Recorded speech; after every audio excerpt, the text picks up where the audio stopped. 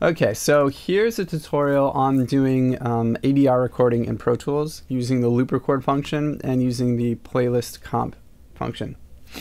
So first thing we want to do is get our video. In this case, I have one here. I just grabbed an MP4, but because Pro Tools mainly handles MOV files, you always want to convert to an MOV. Um, I would recommend doing H.264 as the codec. So um, I'll show you in one second. Um, opening QuickTime Pro here. So I'm going to go to export, um, movie to QuickTime video, options. And in the settings, I uh, choose H.264 generally. Um, it's a good, you know, quick codec and it's a small file size. And then the actual size, you can either keep it as is if the video is not too big, but if it's a huge video, you don't want to use all your CPU processing just for the video. So make it uh, a manageable size. In this case, I just have um, some custom dimensions, but you can choose even like 720 by 480. That should be okay. The sound, you don't need to do a high, you know, a super high sound quality um, because we're just going to be using the uh, sound for reference. So I'm just converting it, um, I'm putting it into the video files folder within the session folder. That'll make it easier later on down the line. You won't lose the video because sometimes Pro Tools doesn't keep track of videos too well. So I've already converted it. So we'll just go in here and on my Mac I'm going to do Shift Option Command I. This is going to bring the import video dialog box up. So just navigate into your video files folder and you can import to a new track at the session start and import the audio. Okay, so now we have the video and the session. And the first thing I'd recommend doing is you want to look over here at the frame rate to make sure that the frame rate's correct. Um, if you press Command and then 2 on the number pad, that will bring up this session setup, which is also available under Setup menu and then go to Session. And you'll notice over here, here are all the different frame rates. So if it's on the incorrect frame rate, it will be red over here, and that's a, a bad sign. So you want to make sure it's on the correct one. We'll set it to 24. That means we're good and we're locked in. The next thing I'd recommend doing is click here and change it to blocks. Now this isn't such a big issue if you have a really you know great computer that will be able to handle all that. But as you can see, what it does is it creates new video stills every time you minimize or maximize. So it can take up a decent amount of CPU usage. So I would just change it to blocks for now. Um, and now we have this reference track over here. So um, we'll listen down, but we're really just going to record the last line of dialogue. It was a trick question. The tool most important to humanity's survival wasn't any of the nine in the box. Go on. The most important tool is respect. Ha! Gay! So we're just gonna be ADR um, recording this line over here. Ha! Gay! So I'll just chop it up um, to make sort of a marker. And so the first thing we're gonna do is make sure that Pro Tools is set in loop record mode. So you can go to options, make sure it's on loop record, and you'll see over here this loop appears next to the record button.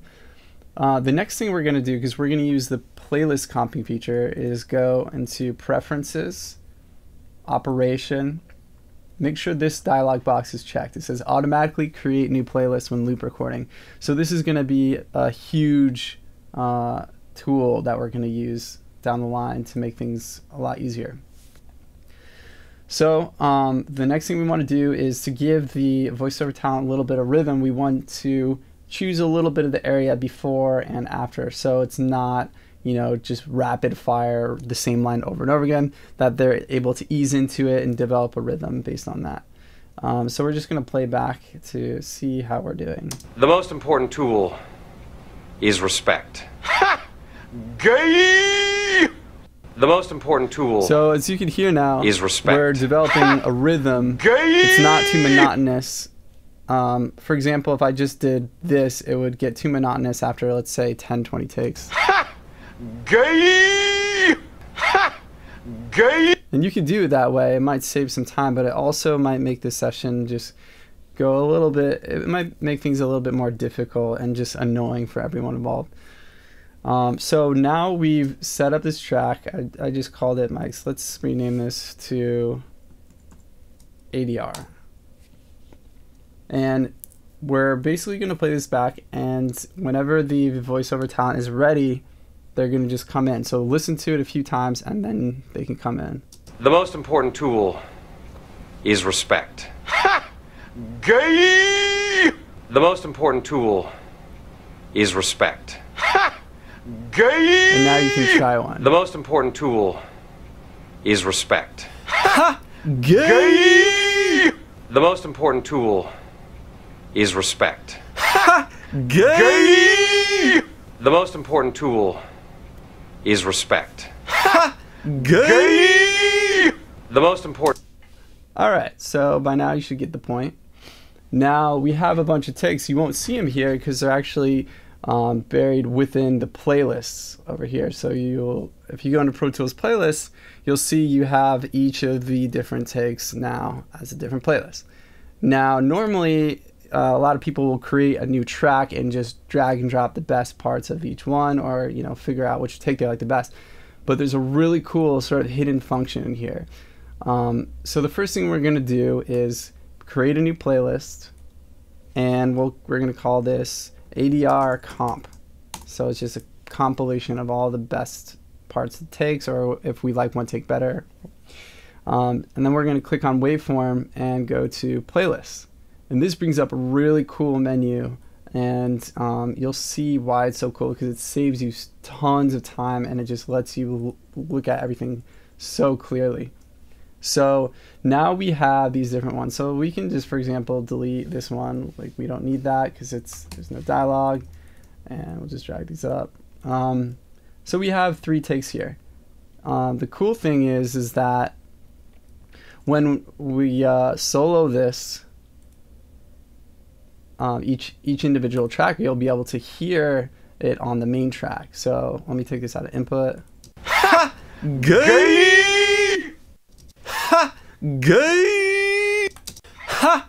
Gay! Ha! Gay! So, um, we have some stuff to work with. So, the first thing we want to do is just make sure we got a take that has good timing. You can sort of nudge it around a little bit. Um, or, you know, if you want to just take this first line and chop it, press B, nudge it a little bit, or, you know, with here, with the mouse, um, you could do that. Um, but we don't have to get into that into this lesson. Um, we'll just go over comping. So the first thing I'm going to do, let's say I like this particular read of the just ha. Ha! So select that, and then you'll see this arrow over here. Just click that, and that will pop it up to the main comp track. Now let's say I like this line over here. Gay! Uh, let's choose, let's see what this one sounds like. Gay! That one's definitely pretty, pretty solid. So um, I'm just gonna drag it. I'm gonna press Control up to enlarge the waveform so I can see how it compares to the original a little bit better. Um, and then we'll push it to the top. So now you can click here and go back to waveform. That will bring us back to our normal familiar menu. Let's go up here and enlarge the track with control up. And we'll notice uh, it's not quite in sync, just judging by the waveforms. So let's shift it. You can nudge it with the nudge key, which is minus or plus. You can set the length of how long you, or how uh, big you want to nudge it by clicking up the nudge over here. So let's set it to, I'm on time code, let's set it to a quarter frame. So now we can sort of slide it. Um, now we'll listen to with the original. so it's pretty dead on. Now this one might be a little bit trickier, so let's see how this sounds together. Gay! So a little bit long. Um, so what I'll do here is I'll time compress it a little bit. So I'm going to click here. I'm to, uh, this is the elastic time. Uh, allow you to time stretch without being destructive. Let's click here. I set it to polyphonic because it's the highest quality time stretch algorithm, even though it takes a little bit more CPU use. And then you want to do command 2 until you get this little time thing. So this will shift through all the different bracket tools. Now we have this selected.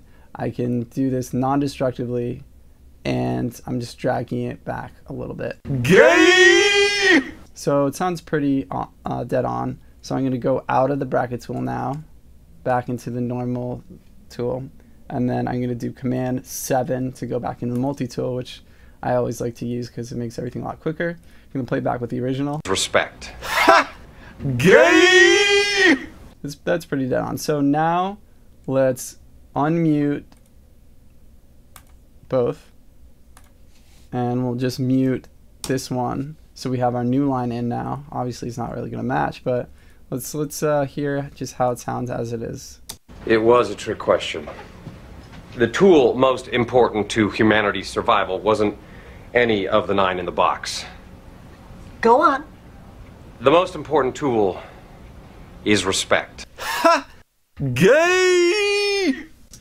So that's it. Um, that's basically how you do ADR record. Um, and a lot of it is also how you manage the voiceover talent. You keep things like really light, um, give them some time in between the reads, um, just so everyone feels comfortable. Because it's a really monotonous process, especially if you're doing long films. So I hope that helped you, and uh, that's the end of my tutorial.